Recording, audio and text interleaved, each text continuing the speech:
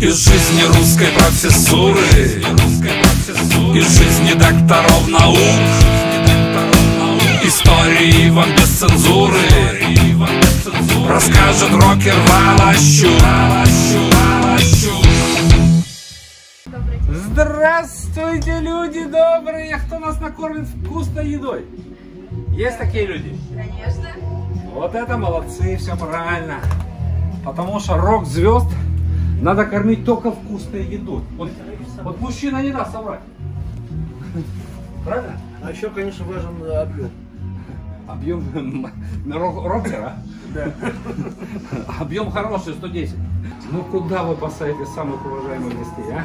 Прошу. Настоящих рокеров, куда будете сажать? Это самое красивое место. Хотел съесть фуагра, прям душа требовала, но потом передумал.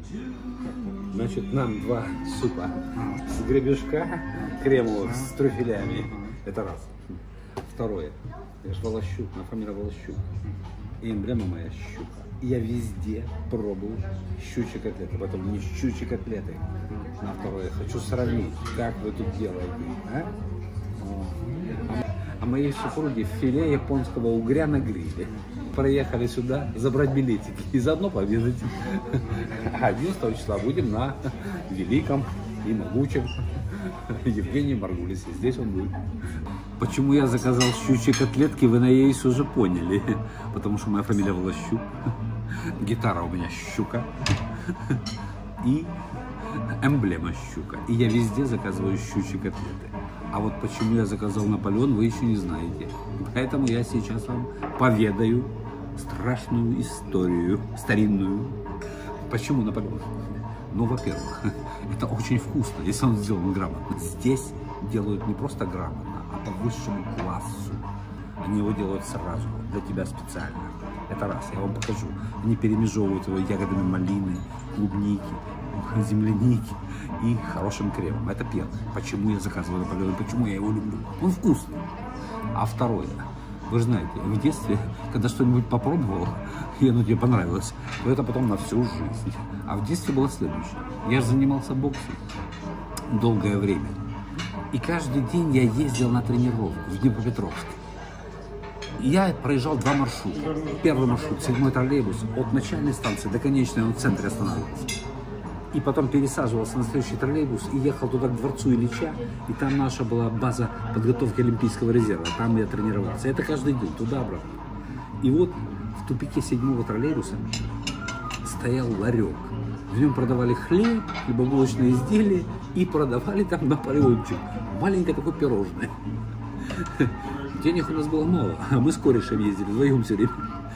И мы брали вот это одно пирожное, ну, по-моему, 22 копейки стоило, 25. Мы его пополам делили и ели этот Наполеон. Садились в троллейбус и ели его, наслаждаясь жизнью.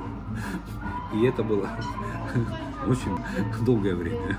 Поэтому Наполеон у меня до сих пор любимое пирожное, любимый торт и прекрасные воспоминания о моей боксерской жизни, которой я отдал аж целых 12 лет. Провел в ринге 242 боя. И был чемпионом трехкратным Камчатской флотилии, трехкратным призером Тихоокеанского флота, Спартакиаду Украины выигрывал и еще массу всяких турниров. Так что такое у меня воспоминание о торте Наполеон. Добрые. Вот оно, принесли. Супчик, крем с трюфелечками.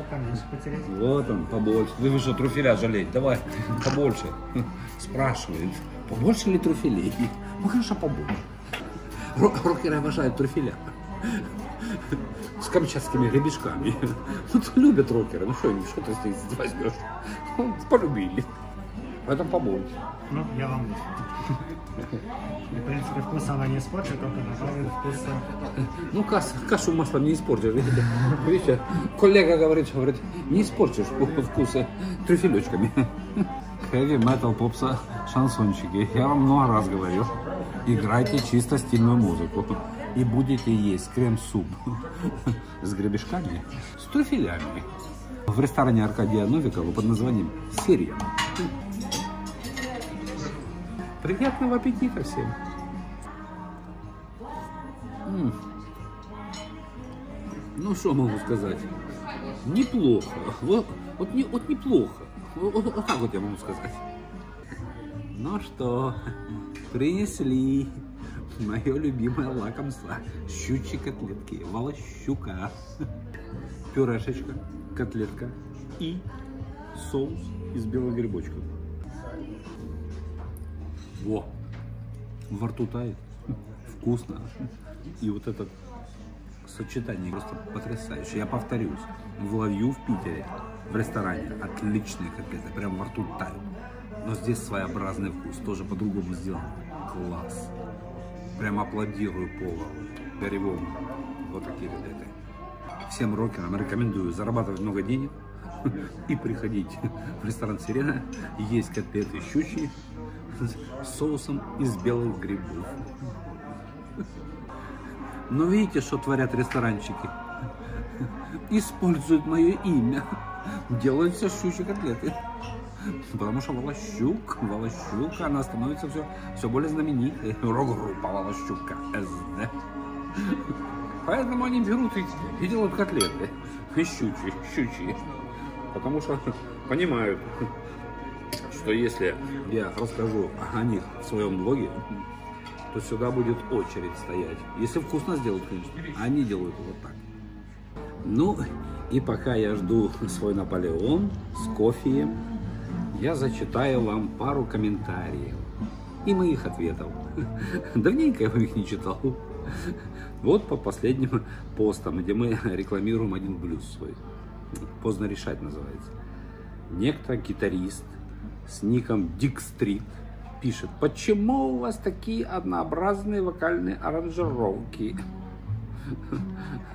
Отвечаю. Андрей, на ваш вопрос отвечу очень честно. Я виртуозным гитаристам отвечаю только так. Пою я специально так чудесно, чтобы разучивать вам было легче. Как не поймете это вы, чудак? Мужики, потом же, когда мои песни будут популярны, может, в кабаках надо будет играть что-то. Будете разучивать. Вот я поэтому специально так делаю. А вот тренер Цибулина, который кандидат в мастера спорта по становой тяге, говорит, текст цепляет, голос приятный. Мой комментарий. Слушайте все, кто очень недовольный моей игрой и голосом моим. Здесь КМС по тяге становой, пока вам говорит спокойно, что голос мой приятный. Я не советую здесь спорить с ним. А вот мой любимец Владимир Вялков вопрос задает. А блюз-то где? Послушав блюз, Вялков был сильно озадачен. «А где же блюз?» – воскликнул он в сердцах. «Перед тобою прямо, Вова, да не плачь ты, включи еще раз трек, не слушай в попыхах».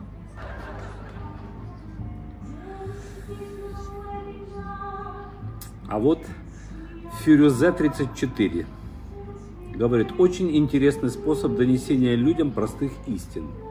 Отвечаю. Таня, не претендую на открытие я новых истин. Лишь гений раз в сто лет перед людьми ставит новый вопрос. Просто по-своему я говорю, что жизнь прекрасна, но терниста. Всего лишь настроение свое я вам донес. Я всегда говорил и продолжаю говорить, что наш стиль это новый хард-рок. Это тот же самый, старый забытый хард-рок 70-х годов прошлого века, но только в новом звучании. Потому что это позволяет сделать новая аппаратура, новые инструменты и новое компьютерное обеспечение. А по поводу слов, да, мы тоже говорим по-новому. Но ничего нового мы не можем произнести. Эти истины, которые мы обыгрываем, знают люди тысячу лет. Мы просто по-новому на них смотрим. Они по-новому звучат в новой меняющейся обстановке. Поэтому мы говорим, у нас новый хард-рок. Не heavy metal. Не цепляйтесь за это, ребята. Мы играем новый хард-рок. Несут разврат мой. Красоту эту принесли. Спасибо, друг. Спасибо. Спасибо, я так скучал по этому Наполеону. Мучился два дня. Ждал, когда же мы поедем в Сирену за билетами. Вот, дождался. Начинаю. Вот она, красота, гляньте. Специально для меня сделана. Ой, ой, ой, хрустит, глянь. Ну что, мужики, хочу сказать, и девчонки. Вот лучше Наполеона я не ел нигде. Вот высший пилотаж. Для меня это вот самая главная похвала, как у летчиков. В любом деле могут быть шедевры. Это шедевр кулинарного искусства. Это Наполеон высшего класса. Это рок Наполеон для рокера Волчка СД. Я могу только сравнить его с рок-шедеврами. Допустим, с битловской Come Together. Это шедевр рок-музыки. Или с Дипперловской Дым над водой. Шедевр. Или с Zeppelинской Black Dog. Ну, это просто шедевры. Вот это точно такой же шедевр высшего пилотажа Наполеон. Вот здесь, в сирене. Во. Но, к сожалению, знаменитому рокеру Волчуку СД все это не достанется. Не потому, что я не съем, я съем больше. А просто мой звук, видеорежиссер, видеооператор, мой незаменимый Санчо Паца, моя любимая супруга сейчас у меня все отнимет. Обижают люди, обижают. Вот сижу, пью кофе. Начальник отнял у меня Наполеон. Обидел. Поэтому сижу, пью кофе, а сам рассуждаю. А что это мне так Наполеоны нравится? Особенно вот здесь, в Сирене. Ну, понятно, что вкусно. А вот думаю, ну, ну не зря же мне все мои почитатели многие что у меня завышенное чувство ЧСВ. Может, как раз во мне просыпается маленький Наполеон, а может, я большого Наполеона вырасту, кто его знает. Но то, что я стану великой рок-звездой, я думаю, вы уже не сомневаетесь. Нет? И правильно делаете. Волощук СД будет настоящей русской рок-звездой. А может быть и международной. Там посмотрим, как пойдет дело. Но вот видите, еще про одно рокерское место вам рассказали. Почему оно? Да потому что здесь любят обедать и ужинать иногда, а и завтракать. Знаменитый рокер Волощук СД. А еще потому, что здесь недавно выступала группа «Воскресенье», а 11 числа будет выступать Евгений Маргулис. Поэтому, ну как, рокерское место или нет, а? Говорю, А торт? Торт, Наполеончик, как вам? Вот такой рокерский, настоящий. А щучьи котлетки, ну супер. Что вы? Тут рокерам только и надо питаться. Вот оно, рокерское место. Ресторан «Сирена». Понравилось? Ну а как может не понравиться в таком вот прекрасном ресторане? Ну хочется что-то плохое сказать. Думал, думал, ну что сказать? Думал, потом придумал. Ну нельзя так вкусно готовить. Ну как я похудею, а? Ну что вы творите вообще? Что за народ пошел, а? Красивые, главное, глянь. Красивые, но, но, но очень вкусно готовят.